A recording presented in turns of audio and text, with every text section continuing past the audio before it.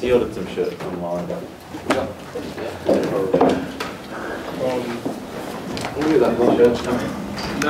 Today, I want to look at, begin looking at the four pastoral epistles, the four pastoral letters.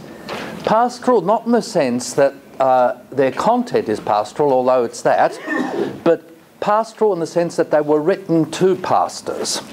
Three pastors Timothy, Titus, and then Philemon are three pastors. First of all, Timothy. Uh, I don't know whether you've been noticing, but as we've been going through the epistles, how frequently Paul refers to Timothy. In fact, five of Paul's letters were co authored with Timothy. 2 Corinthians, Philippians, Colossians, and both, both of the Thessalonians letters were co authored with Timothy. Um, he, in fact, was probably of all the people who worked with Paul, the one that Paul was closest to. He calls him his son, um, uh, his spiritual heir. Timothy was had uh, a pagan father, and he had a Jewish mother and grandmother. So his mother and grandmother were Christians, but his father was a pagan guy. Um, he was one of Paul's closest associates. Um, now, what's the circumstance here? When Paul went to Macedonia, you know, Thessalonica, which we heard about, you know, across to Philippi and then Maced- uh, uh, Thessalonica, uh, he left Timothy in charge of the congregation in Ephesus to combat the heretics there. And the heretics there were the ones we spoke about yesterday in Colossians. Now, this Gnostic heresy stuff, so I won't go into that again. Uh, that's the basic heresy. Um, these heretics used, were Jewish uh, Gnostics. They used the law, the Old Testament teaching, to promote Gnostic speculation, which aimed at achieving divine consciousness, you know, this level of divine consciousness, by the practice of celibacy and vegetarianism, which was supposed to lead to material prosperity. Isn't it funny? You become more and more spiritual in order to become more and more wealthy. Does it sound familiar? Um, you get the whole prosperity gospel, which is uh, uh, fashionable in certain parts of the church at the moment. This is a more ancient version of it. It's not exactly the same, but it's similar. Um, now, um, there's three uh, reasons for writing this letter. And uh, if we can start off with you, please, uh, uh, Levi, chapter 1, verse 3, please, of Timothy. Chapter 1, verse 3. As I urged you when I went into Macedonia, stay there in Ephesus, so that you may command certain men not to teach false doctrines any longer. Righto, that's the basic thing. Uh, he is to uh, uh, stay in Ephesus, the church there, and to uh, counteract the, the, false teachers and their heresy. Um, now, in connection with that, Tim- Paul sends Timothy to Ephesus to straighten out the mess in the congregation. It sounds a bit like a dysfunctional LCA congregation. There's problems about worship, there's problems about authority, um, uh, issues between ministry and laity, there's issues about the ordination of women, um, uh, all those kinds of questions. Okay? Did not give us very much hope then. Uh, things, nothing changes.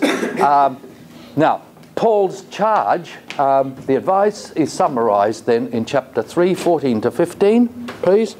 I hope to come to you soon, I am writing you these instructions so that if I am delayed, you will know how people ought to conduct themselves in God's household, which is the church of the living God, the pillar and foundation of the truth. So he's writing so that people know how to conduct themselves in the household of God, the temple of God. So this is the what you need to do, and it's very practical stuff that he tells Timothy to do. And then lastly, he um, uh, wants to encourage Timothy in his work as a pastor in the church in um, Ephesus. Uh, Brenton, can you read uh, chapter 4, 12 to 16, please? Sure. Sorry. Chapter 4, 12 to 16. Um, don't let anyone look down on you because you are young, but set an example for the believers in speech, in life, in love, in faith, and in purity. Until I come, devote yourself to the public reading of Scripture, to preaching and to teaching. Do not neglect your gift, which was given you through a prophet, prophetic sorry, message when the body of elders laid their hands on you. Was it to 16? Yes. Be diligent in these matters, give yourself wholly to them, so that everyone may see your progress. Watch your life and doctrine closely. Persevere in them, because if you do, you will save both yourselves and your hearers. Doctrine is teaching. So that summarizes Timothy. Uh, don't just uh, take great care in what you teach, you know, reading the scriptures, teaching the scriptures, but also in the way you live. Um, and model what you teach by how you live. Notice the emphasis given there to the public reading of the scriptures and preaching and teaching from the scriptures. Now, the structure of the book is fairly straightforward. Uh, uh, first of all, uh, the first three chapters have to do with Paul's charge, Paul's uh, uh, task that he gives to Timothy to perform in Ephesus. Now, Timothy is a bit like an interim pastor in the LCA. I don't know whether you know anything about interim pastors. Let's say um, a congregation's run into trouble, irre- uh, irreconcilable conflicts between pastor and congregation or within the congregation. A pastor leaves. Instead of calling a new pastor straight away, the LCA sends somebody, an experienced pastor, an old pastor, to act as an interim pastor, Yeah. to bang heads and to sort things out.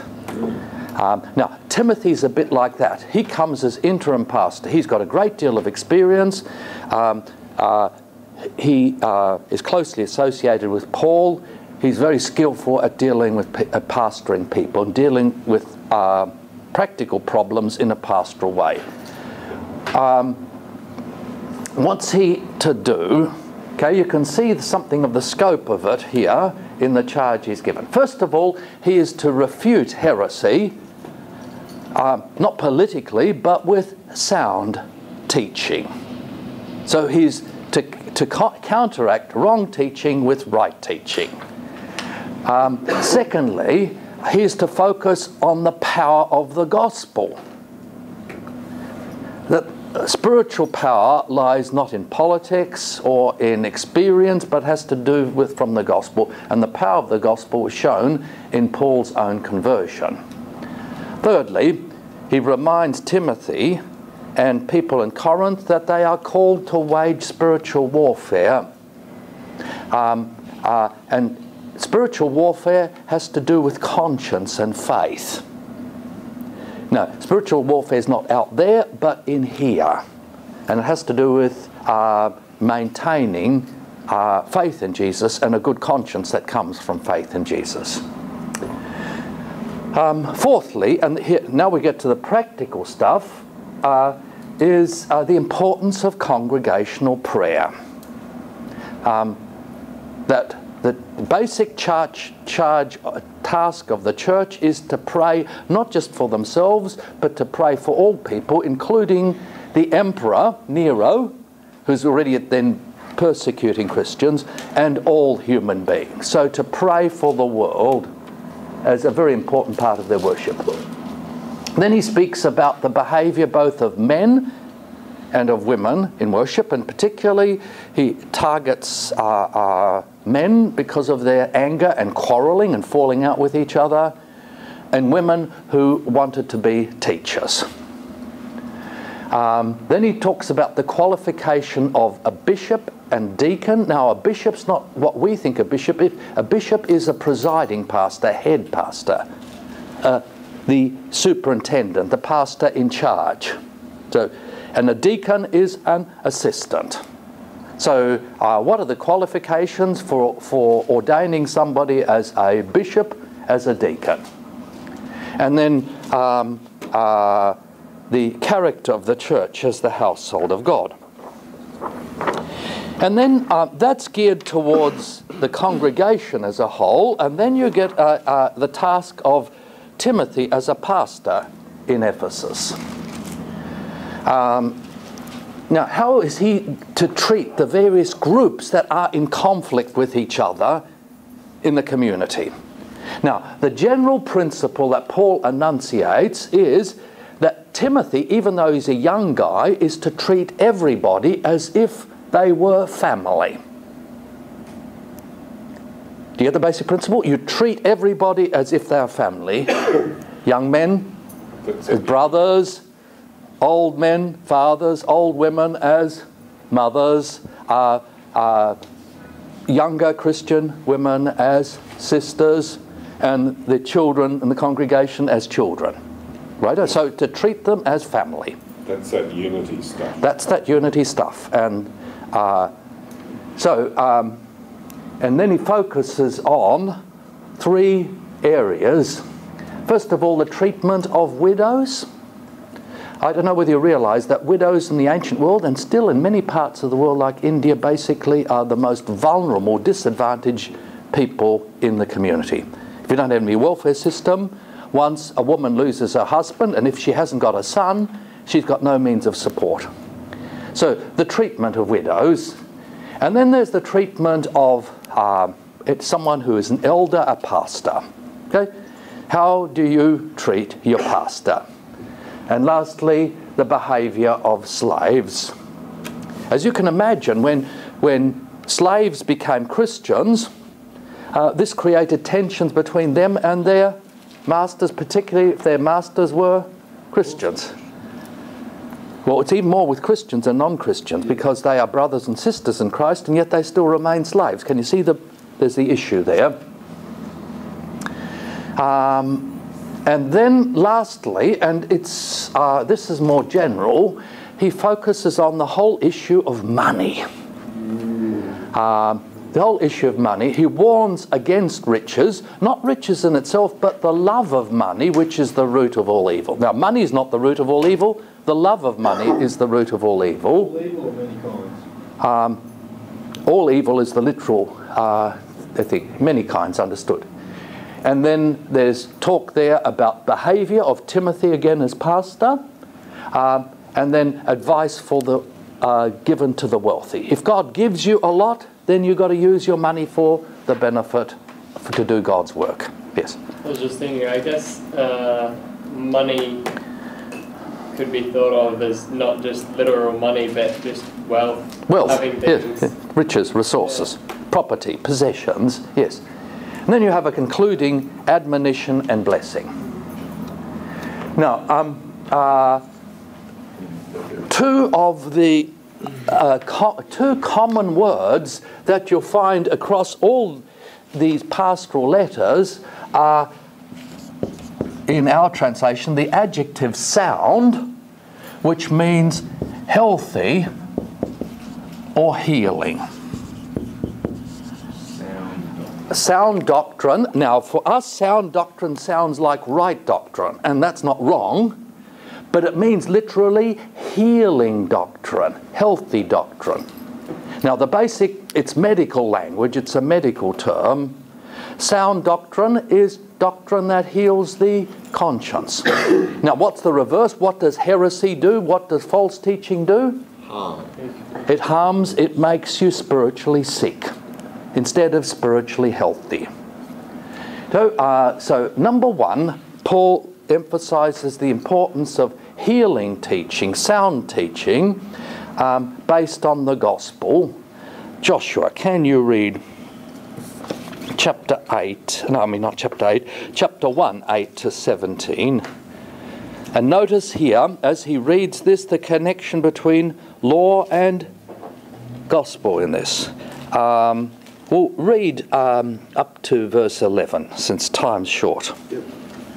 Now we know that the law is good if one uses it legitimately. This means understanding that the law is laid down not for the innocent, but for the lawless and disobedient, for the godless and sinful, for the unholy and profane, for those who kill their father or mother, for murderers, fornicators, sodomites, slave traders, liars, perjurers, and whatever else is contrary to the sound teaching that conforms to the glorious gospel of the blessed God, which he entrusted to me. So, um, and go back right at the beginning uh, to uh, verse 5. Yes. But the aim of such instruction is love that comes from a pure heart, a good conscience, and sincere faith. Right, so notice the em- emphasis there on a clear conscience. Now, what is healing doctrine? Healing doctrine is healing teaching is teaching that distinguishes rightly between law and gospel in order to give a clear conscience which comes from faith and leads to love. You can only love properly if you have a good conscience. So, healing doctrine is using both law and gospel in the right way. By the way, here you get one of the prohibitions of or, or connection uh, passages in the New Testament that uh, uh, deals with homosexuality. Did you pick it up? Um, that's one of the big uh, issues at the moment. Here, verse 10.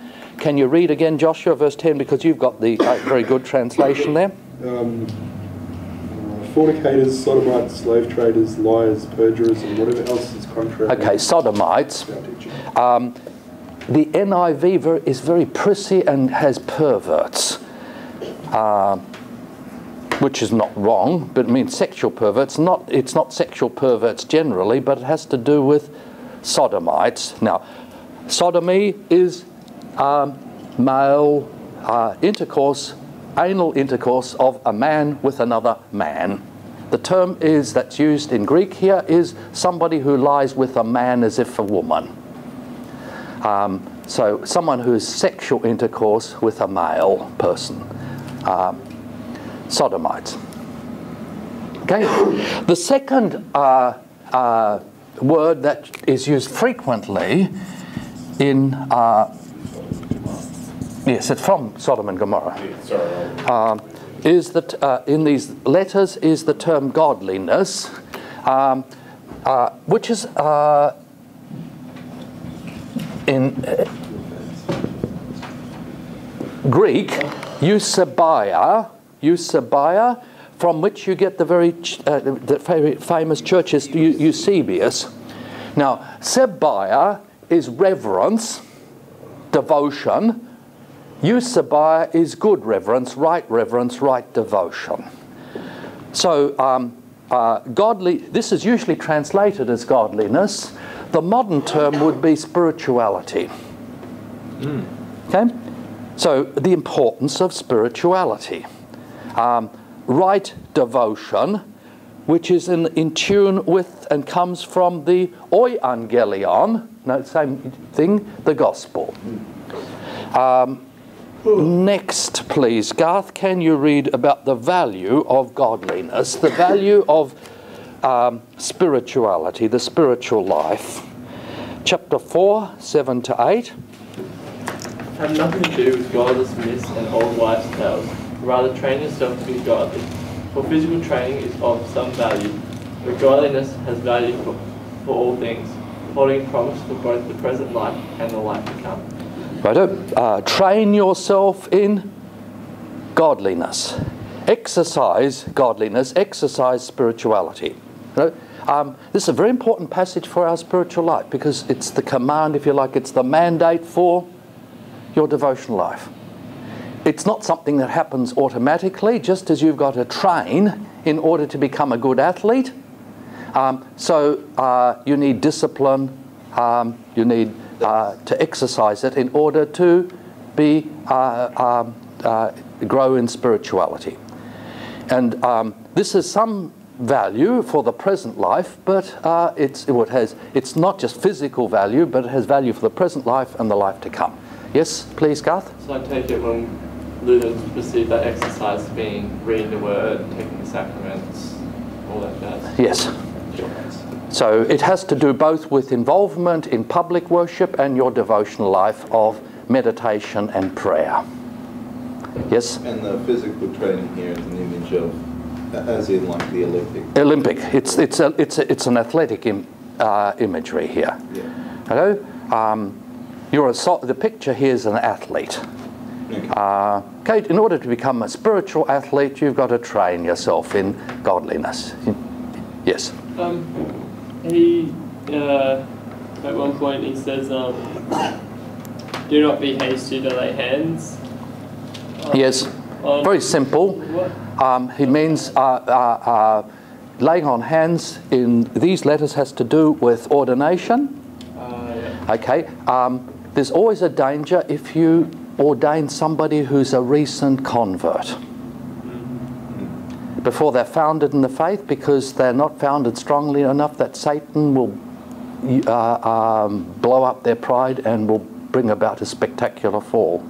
Now, if there's something that I've learned in the times that I've been here involved is that wherever a recent convert has been ordained, uh, that person's run into trouble. So, uh, just uh, you've got to test somebody before you ordain them, and that's partly what we're doing here in for all of you is testing you, um, uh, preparing you in such a way that you will not be vulnerable to There's- attack. There's a lot of colleges, Bible colleges out there who do very short courses. That's right, yes. And they prefer to ordain recent converts because they're full of zeal for the Lord. Uh, they, they are the most enthusiastic, and it's true. Um, but uh, if you look at the histories of these, the fallout rate is spectacular. And the seeds are sown in bad soil or shallow soil. Yes, shallow soil. Burns out quickly. It's burn. You, it, it's the burnout is very very quick. Yes, I just, as a matter of interest, yes.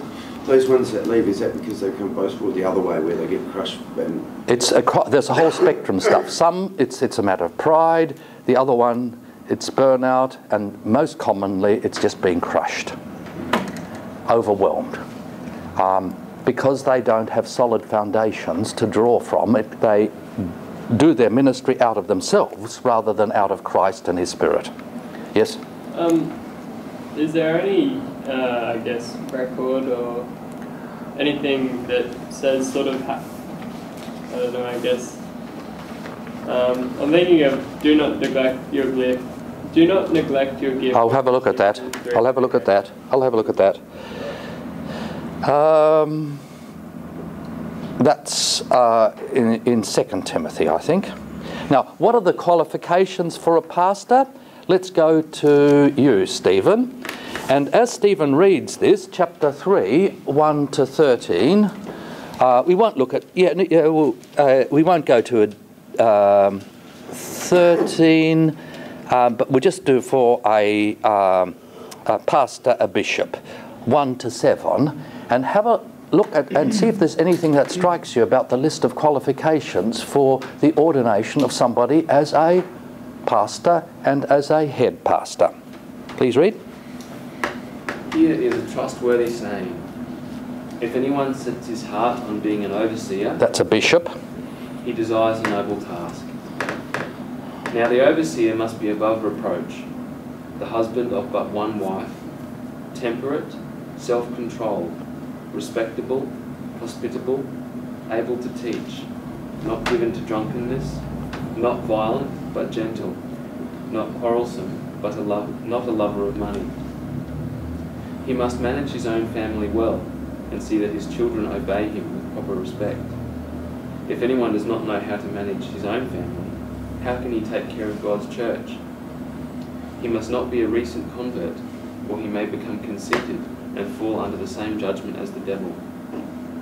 He must also have a good reputation with outsiders, so that he will not fall into disgrace and into the devil's trap. Can you see the recent convert? That's what we're talking about. Uh, what strikes you about that list of qualifications, Stephen? the importance of, for me, it's the importance of being able to manage your own family so that you can manage God's family. Okay. Self-control. Yeah. There's a lot of self control there. And Notice that there's very little there about what we emphasize these days. There's nothing about spiritual gifts. Do You see?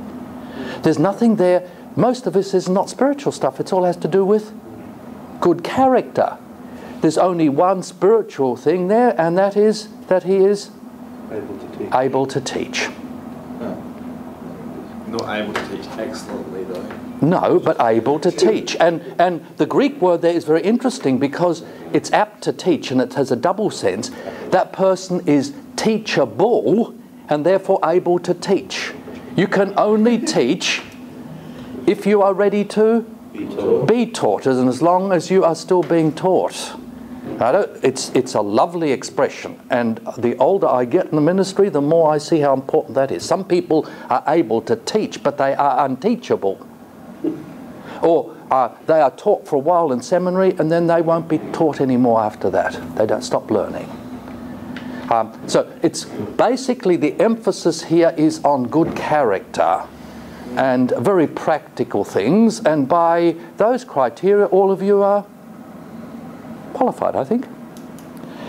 Um, uh, it's not a very high bar. Uh, now, notice too um, that it's in First Timothy that you get a passage which has been very important for the debate over the ordination of women. Um, can you please read uh, who's next? Yes, Tony. Chapter 2, 11 to 12, which is the key passage. Chapter 2, 11 to 12. A woman should learn in quiet and full submission. I do not permit a woman, woman to teach or to have authority over man. She must be silent. Okay, woman must learn or must be a disciple in quietness and in subordination. So, women must be disciples, but they can't be teachers. That's in place. To men. Well, if, then it's also, yes, it's in the church. Yes. What? Is this a fairly late letter? Yes. So, yeah, this is in, is this in earlier letters and whatnot? Well, it's in, in that is- 1 Corinthians chapter 14, almost exactly the same. Because it's just interesting to, to try and work out where he's. I suppose because he was a Jew, he's brought it from Judaism over to Christianity. Oh, The God has. well, Yeah. yeah, yeah, yeah. No, I'm just saying. Yeah, there is, it says, but, but um, there's one aspect, there's a couple of aspects here which are, are a anti, which are not Jewish. In the same passage, uh, in the synagogue, only men prayed, women didn't pray. He says women must pray. Okay. Um, according to rabbinical tradition, women cannot be disciples. So at two points, he goes against Judaism. He says, Christian women, um, there's three things that are astonishing here. Christian women, number one, are to join together with men in praying in the congregation. Secondly, all Christian women are e- disciples just as men are disciples. Thirdly, anything to do with menstruation, childbirth, doesn't disqualify a woman from participation in salvation, say Holy Communion. So, uh, uh, in that way, he uh, uh, goes beyond Judaism, but when it comes to women as teachers, uh, he says no. Does he ever Any- say sort of why, apart from obviously that Adam was formed first and Eve, but it's kind of like. Yes. Uh, he, he doesn't. Obviously, there wouldn't be such a debate if he, Yes. if he went into it in more depth. well, I don't know.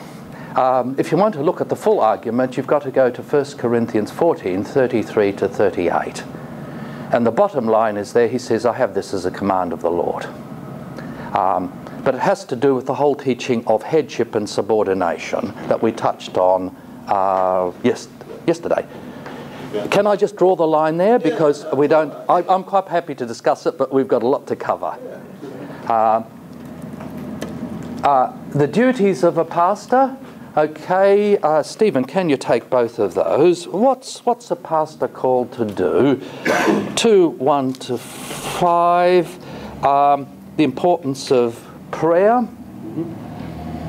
I urge, I urge you then, first of all, that requests, prayers, intercession, and thanksgiving be made for everyone, for kings and for all those in authority, that we may live peaceful, and quiet lives in all godliness and holiness. This is good and pleases God our Saviour, who wants all men to be saved and to come to a knowledge of the truth. We'll stop there. Okay. Uh, to lead the community in prayer. Secondly, um, chapter 4, 11 to 13. Oh, we had a look at that. The reading of scriptures, teaching, etc. And lastly, the need of a pastor to set a good example to everyone. We've also read that. Very straightforward. By the way, if you want to know what being a pastor is, the first pastoral handbooks ever written were First Timothy, Second Timothy, and Titus. Now, uh, when you do pastoral theology, you'll find out that uh, uh, uh Dr. Pfeiffer and Pastor Peach will be going back again and again to these books. Uh, they are foundational for pastoral work. Now, much later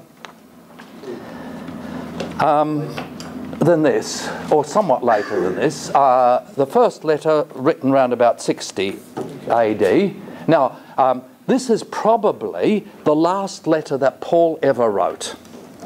And he writes this knowing that he is going to die. He faces death, and it's a letter of farewell to Timothy, who is his closest um, pastor, fellow pastor. So Paul wrote this letter in prison in Rome just before he was executed, 67 AD, to Timothy in Ephesus. He's in the same place still. Even though no one supported him in his trial, he was able to make a powerful defense of the gospel in front of the Roman court. But he was there alone. No one stood by his side and helped him defend himself. He sensed his end was near and so asked Timothy to come with Mark, Mark John, the writer of the gospel, to come and visit him in Rome. But at the same time, he was worried about the spread of the Gnostic heresy, which we heard about in Colossae, Laodicea, Ephesus, and the general spread in that province of Asia. Yes? Two questions. Yes. Quick ones. Yes. Um, the court, was that the Senate or was that a different? Uh, we don't know. Don't uh, know. It, it was a court that was uh, under uh, the emperor's control, so it's not. It, it wasn't a senate court, but it was an imperial court, Ah. un, uh, governed by imperial magistrates. Okay. And uh, Yes. The other question was, he was a Roman citizen, right? Yes. So when he was executed, it was something like beheading, right? It was beheading. He couldn't be. He couldn't be humiliated in any way, like Yeah. crucifixion or dismembering, or he couldn't be chastised. He couldn't Or be whipped. in the Colosseum or something. Yeah, he couldn't be used as lion bait. Yeah, okay. Okay, he was a Roman citizen. Um, it had to be nice and clean. Yeah. Chop your head off. Um, now, uh, what's the purpose of the letter? Um, and the situation here makes it quite clear, and you can see how it's all comes out of that uh, the, the the fact that Paul is going to die very shortly, and so this is his farewell letter. Number one, he asked Timothy to come and visit him before his death, if possible. Um, he encouraged Timothy to accept suffering like Paul as a minister of the gospel. And there's something very interesting he says here because he says, as a pastor, when he was ordained, he was given the gift of the Holy Spirit, the spirit of power and love and sound mindedness. Now, the power of the Spirit is to be shown in the endurance of suffering. Now, that's most unexpected. So he doesn't say, use the power of the Spirit in order to become a super evangelist, but the power, of the Spirit is shown in the endurance of suffering for the sake of the gospel together with Paul. Thirdly, he urges Timothy to remain faithful to the apostolic doctrine, apostolic teaching, and to ensure that he passed on that teaching to other pastors. So there's a chain of um, tradition. What Paul received from Jesus, he passes on to Timothy, who's to pass on to the people that he trains and ordains to be teachers, pastors. Now, you are at the tail end of that chain of tradition. Now, uh, it's what I've received and what's now being passed on to you. Lastly, he warns against the dangers of the heresy uh, that Gnostic heresy. The structure of the letter um, starts off with a typical greeting and thanksgiving for Timothy's faith, the faith that he inherited from his grandmother and his mother. So it's a faith, notice there the reference to the women, how important they were in his life. Now he received his faith, grandmother, mother, Paul, uh, uh, uh now, and then Timothy. So gives thanksgiving for that. And then you have Paul's instruction to Timothy. He's to imitate Paul's boldness in accepting suffering. He's to imitate Paul's faithfulness in teaching. He's to um, refute those who are heretics, heretics who teach false doctrine or wrong doctrine. He's to avoid those who are libertines the antinomian gospel reductionists, who libertine is a person who says um, we're freed from the condemnation of the law, therefore we're free to do whatever we want. That's the libertines. That's uh, uh, that uh, uh license. And in contrast to that, uh, he's to imitate Paul's life as a teacher of the scriptures. Um, and remember, scriptures here is Old Testament scriptures. So his task is to teach, teach, teach, teach the scriptures. Um, and uh, he's to persist in preaching whether people listen or don't listen, whether it, it's fashionable or unfashionable. Whatever happens, he is to preach the gospel in season, out of season. That's his task um, uh, as a pastor. And then you get the conclusion of the letter. You get Paul's confidence in the face of martyrdom. He says, I've fought the good fight, I have kept the faith, and now the reward, the end of the race is going to come, and the crown of righteousness will be given to me. So, Paul's confidence in the face of his imminent death. Then he mentions some personal matters to Timothy, and then the final greetings and the blessing. Now, David, since you raised this question, can we have a look at the first theme here? Chapter 1, 6 to 7, please. Chapter 1, 6 to 7 of Timothy. For this reason, I remind you to fan into flame the gift of God which is in you through the laying on of my hands. For God did not give us a spirit of timidity, but a spirit of power, of love, and of self discipline. And so that's what he was talking about in the last book. That's what he's talking about the last book, about laying on of hands. And he had hands laid on with the word of uh, that was spoken to him. It's not just Paul, but the whole body of elders, all pastors. Like um, if at the end of the year when you go to ordination, it's not just Mike Semmler who ordains, but the whole pastorate. There's a whole group of pastors that ordain into the ministry. So it has to do with ordination. And at ordination, um, what did Timothy receive? What's the charisma he received? He received the, the Holy Spirit, the Spirit that empowered him, the Spirit that empowered him to love, the Spirit that empowered him to exercise self control, self discipline. But he would have already had the Holy Spirit, so That's right. But you, can, you have you can't, and, and it, it, you know, Paul says, fan into flame the the gift that you have. You don't just receive the Holy Spirit at one point, you receive it continually, continually and for different purposes. So the same Spirit, but for different purposes. Um, okay? Uh, a very important, if you look at the rite of ordination, a very important part of the rite of ordination is the, the gift of the Holy Spirit to the person who's going to go into ministry because the only way you can do the work of Jesus, supernatural work, is by the power of the Holy Spirit. Hence the importance of the gift of the Spirit in ordination.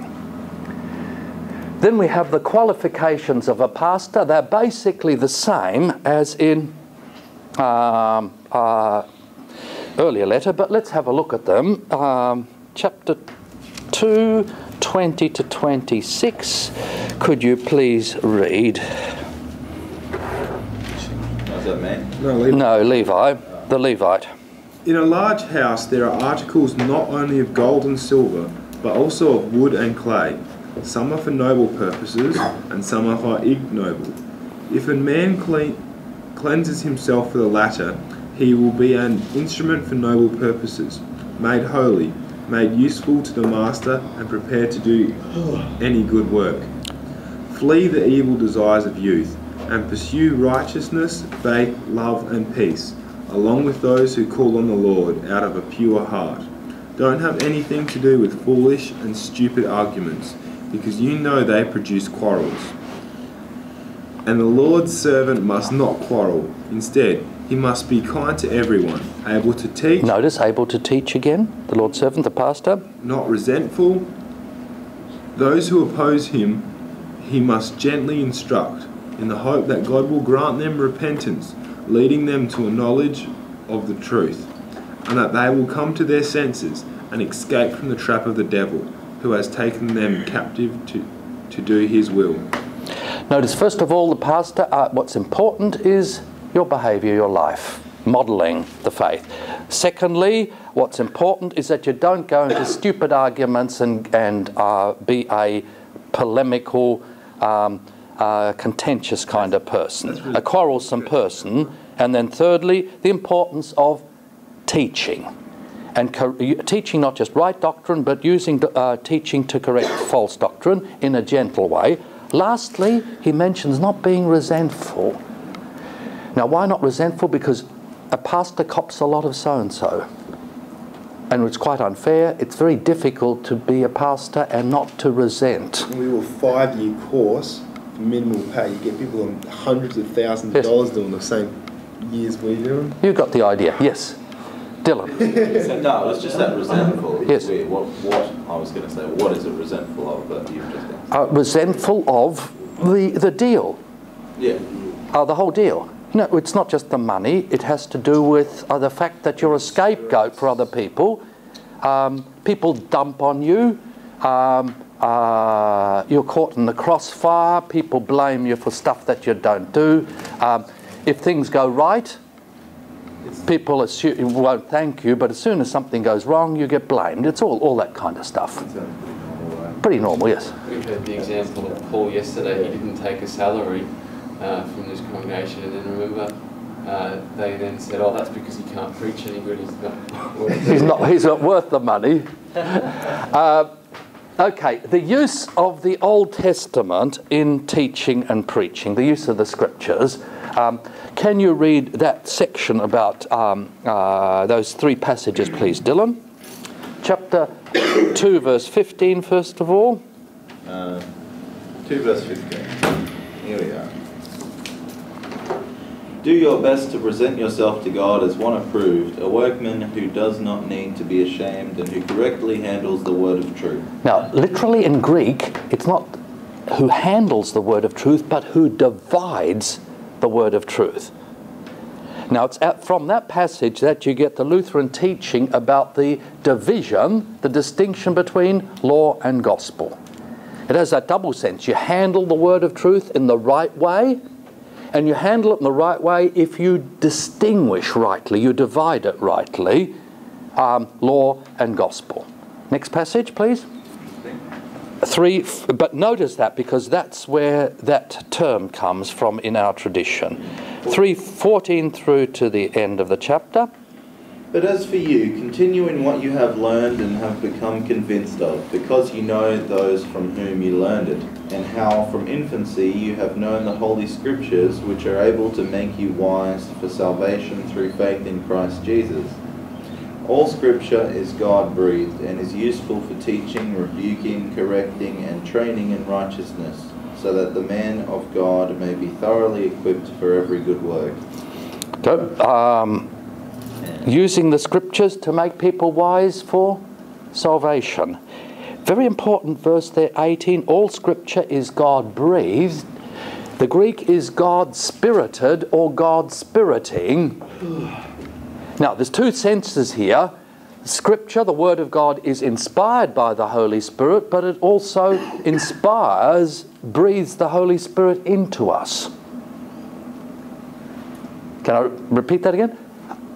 The Scriptures are not only inspired by God's Spirit, but they inspire God's Spirit. They breathe God's Spirit into us. And that's where the power lies, to use the scriptures to, for spiritual purposes. Lastly, and I'll have the question then, chapter 4, 1 to 5. In the presence of God and of Christ Jesus, who will judge the living and the dead, and in view of his appearing of his appearing and his kingdom, I give you this charge. Preach the word, be prepared in season and out of season, correct, rebuke, and encourage with great patience and careful instruction. For the time will come when men will not put up with sound doctrine. Instead, to suit their own desires, they will gather around them a great number of teachers to say what their itching ears want to hear. They will turn their ears away from the truth and turn aside to myths. But you keep your head in all situations. Endure hardship. Do the work of an evangelist. Discharge all the duties of your ministry. That'll do. And next, uh, faithfulness in transmitting apostolic teaching. Josh, can you read chapter 2, 1 to 2? We'll just take that one passage there. You then, my child, be strong in the grace that is in Christ Jesus. And what you have heard from me through many witnesses, entrust to faithful people who will be able to teach others as well. What you've heard, pass on to others, faithful teachers. Um, so, you as a pastor prepare other pastors and hand on the teaching that you've received to them. Lastly, um, the importance of accepting suffering for the sake of the gospel. One of the things that comes together with being a minister of the gospel and preaching the gospel is the uh, abuse that you cop from people. Garth, can you read chapter uh, 1 8 to 12? So do not be ashamed to testify about our Lord, or ashamed of me, his prisoner. But join with me in suffering for the gospel, by the power of God, who has saved us and called us to a holy life, not because of anything we have done, but because of his own purpose and grace. This grace was given us in Christ Jesus before the beginning of time. But it has now been revealed through the appearing of our Saviour, Christ Jesus, who has destroyed death and has brought life and immorality. Immortality, not immorality. For some. Yeah. to light, to light through the gospel. And this gospel I have appointed a herald and, and an apostle and a teacher. That is why I am suffering as I am. Yet I am not ashamed, because I know whom I have, have believed, and am convinced that he is able to guard what I have entrusted to him for that day. Um, instead of being able to guard what I have entrusted to him, but what has been entrusted to me. Um, that's not a good translation. What? so, uh, uh, uh, you are faithful in suffering. Why do you ha- not have to be ashamed? Because the gospel is powerful. It brings life and immortality to light. You don't have to be ashamed because uh, it, nothing depends on you. Everything depends on Jesus. He's convinced that he, uh, Jesus is able to keep him faithful right to the end. Um, so uh, he doesn't have to be defensive and try and protect the gospel as if it's going to be destroyed. He can be bold in preaching, teaching the gospel because uh, um, uh, its preservation depends on Jesus.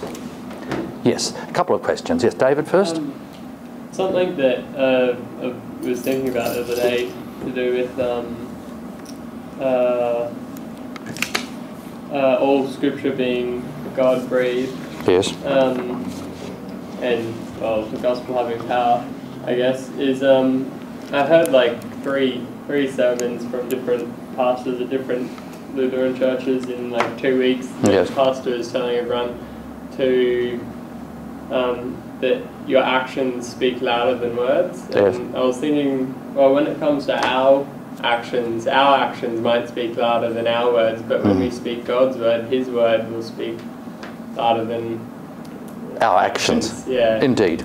Yes. True. Okay. Tony? I'm, s- I'm sorry, I'm going to be pretty negative. You're going to be pretty negative. Good. Yes. Because the statement you were talking about pastors, there's some very, and, and to do with congregations and being, um, it is hard being a pastor. But I think that there are some very pious congregational members who, Absolutely. yeah, it's just, Yeah. yeah. Um, and uh, don't take it one-sidedly because when we come Well, I to did, I'm sorry, for for Peter, he'll say that it's uh, what's what's the deal in being a Christian in the world? You're going to you're going to cop the rough end of the stick. Yeah, yeah. There's no there's no guarantee for cushy existence. Uh, just as Christ is persecuted, so all those who are dis- uh, ministers of Christ will be persecuted, and so too will all disciples of Christ. But notice here, what you, you, you don't want to generalize. Here, Paul is speaking not to a congregational member, he's speaking to to a pastor. He's speaking to a pastor, and Timothy's a, a timid guy. He's not your aggressive, go getting, kind of thick skinned person. It's obvious he's very, very sensitive. Now, what's the problem if you're a very sensitive person, easily hurt? Well, you don't go forward, you know. You don't go forward, not only that, but you avoid what? Avoid. You avoid conflict, you avoid confrontation, you want to appease, you want to you want to paper things over, you want to smooth things out, right? Right. And that's the kind that's what makes him a good pastor. Is because he's so sensitive. And he's timid, he's not their boots and all. Right. Um, and so Paul reminds him that God didn't give him a spirit of timidity when he was ordained, but what kind of spirit did he give him? A power of, of power and sound mindedness. Power and love. Power by itself would be wrong because power would be go boots and all, but power which is exercised in love and which is sound mindedness, the ability to think and see things clearly. Right? All right. Yeah. Okay. Um, So, so uh, uh, very important uh, that, that we don't take things just one side of the story. Yes. I've actually, this is making sense to me now, the spirit of um, sound mindedness for the pastoral ministry. I've always sort of thought, well, all Christians are given that gift as well, but particularly what you said before about the different purposes and for being a pastor in the Yes. congregation. It is amazing in a meeting or some sort of gathering where there's conflict Yes. and there's, there's, there's problems and no one sees the solution. The number of times I've seen pastors quietly and gently just have the answer that Yes. because they see it clearly. And you've also probably seen the reverse, where the pastor's made bad worse because he hasn't been sound minded. Actually, that word sound mindedness, which is usually translated as self discipline or self control, is actually sound mindedness, uh, is, is a, a- another medical term like uh, sound healthy. Um, which means not just healthy thinking, but also healthy feeling. Righto? Um, uh, because you can be misled by your feelings as well as thinking. So the ability to think clearly, but also to feel clearly and to feel what's going on. Because quite often the problem is in any conflict situation, what people say is not really what they mean and what's going on there. You've got to see behind words to what's the, the, deeper level of things and to be able to feel what's going on as well as to be able to see what's going on. And that's that's really good discernment to, to be able to discern that. Is, is It's, it's very rare, and it's the fact that uh, Paul says it's a gift of the Spirit means that on the deepest level, it's not something that comes naturally. No, it it's supernatural gift. It comes from the Holy Spirit. True sound-mindedness, spiritual sound-mindedness that I was talking about, is supernatural, is a gift of the Spirit. And if it's a gift of the Spirit, it's something you can pray for. Whatever is promised to the Spirit, uh, if you're called to be ministry, then you can pray for the Holy Spirit to empower you to do what you're called to do. If you're called to be a pastor, then you can pray for the Holy Spirit to help you to love people who are rather unlovable. Thirdly, if sound mindedness has been promised to somebody at, uh, like uh, in as a pastor, it means that you can pray for this gift in a contentious, difficult situation, and you know that God will give it to you because it's guaranteed to you in your ordination. So it's not just given once in ordination, but the fact it's given in ordination means to go back to what you said, this is something that you can pray for. And it's the kind of thing that I pray for almost every day as a pastor. But it doesn't mean, don't read the other side of it, it doesn't mean that any layperson can't pray for Yes. power to perform your vocation. Uh, uh, love, because your vocation, wherever you are, you're called to love people, to love the unlovable, and also you can pray for sound mindedness. Forgiveness. Etc. Now, we'll have to do a bit of racing to get through the course. I remind you that the last day will be also the last test. Judgment.